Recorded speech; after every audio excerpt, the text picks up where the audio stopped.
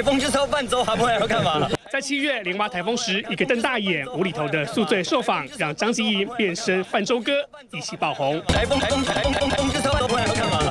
防台三步骤：一推沙包，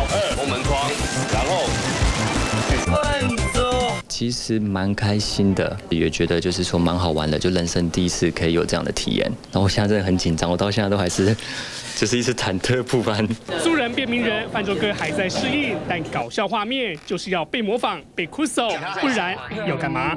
台风天就就要泛舟，要干嘛？哎，陈彦他的眼睛比你有神哎，哇，输了，输了，输了！为什么泛比比较凸啊？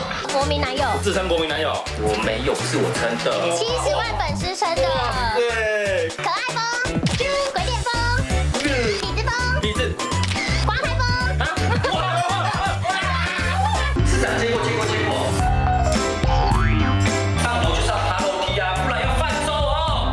上节目接通告，泛舟哥还红到拍广告，一段受访改变人生，成立粉丝专业突破七十万人。但其实很多暗赞的网友们一开始都在骂他。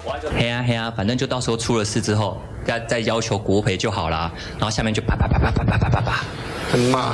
好难听啊！当时扭转局势是因为你做了什么事情，大家不再骂你。我就是在我的脸书上面发一些公开的文，然后后来大家就还蛮意外的喜欢这样子。其实有很多网友在帮我讲话，就是说，就他这个人一定是，就是这一定是开玩笑嘛。所以我写出来这篇文章，我自己心里觉得，其实最后关键一句话叫做“井字号”那一句话，叫做“接下来你们要学着自己转个方向嘛”。泛舟哥用正能量，不止化解谩骂，还出书办见面会，跟周迷们分享心情。这位本业是保险业务的张吉莹，现在身兼通告咖跟作家，未来之路还很难说。但二零一五对他而言，绝对是最惊奇的人生转变。